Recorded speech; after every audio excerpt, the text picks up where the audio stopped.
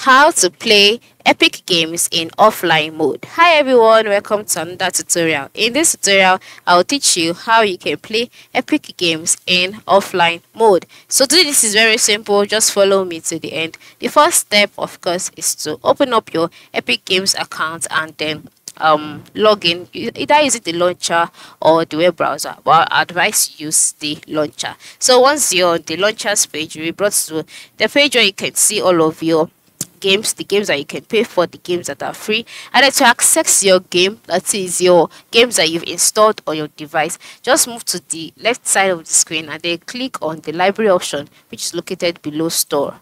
Once you click on library, the library page would load and then you'll be brought to the page where you'll see all of your game titles here.